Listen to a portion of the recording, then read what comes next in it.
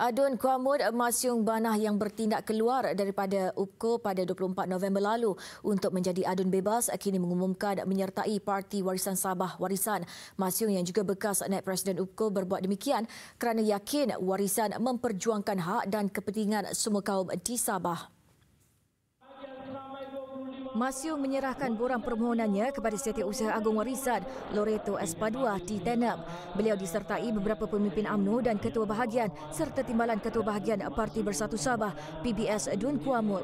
Saya berpendapat bahawa kali ini kita harus memilih harus bijak untuk memilih satu buat uh, membuat keputusan untuk memilih parti yang kita rasa boleh memayungi semua pihak dan tidak lain dan tidak bukan ialah hanyalah parti warisan sahaja. Hmm, kemungkinan selepas ini parti-parti yang um, berasaskan uh, uh, suku kaum ya yang lebih kepada uh, suku kaum um, kemungkinan tidak akan diterima lagi. Jadi uh, disebabkan parti warisan ini adalah multiracial. Parti berbilang kaum.